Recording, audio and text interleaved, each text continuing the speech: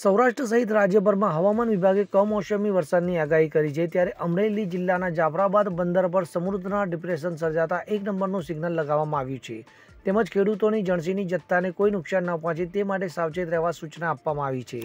રાજ્યભરમાં પંદર ડિસેમ્બરથી ઓગણીસ ડિસેમ્બર સુધી કમોસમી વરસાદની હવામાન વિભાગે આગાહી આપી છે, જેના પગલે સમુદ્રમાં ડિપ્રેશન સર્જાયું છે. જેથી દરિયાકાંઠે તંત્ર એલર્ટ થયું છે. જાફરાબાદના બંદર ઉપર આગમચેતીના ભાગરૂપે એક નંબરનું સિગ્નલ લગાવી દેવાયું છે. સમગ્ર જાફરાબાદ, પીપાવાવ, રાજુલા કોસ્ટલ બેલ્ટ વિસ્તારના લોકોને ચેતવણી આપવામાં આવી છે.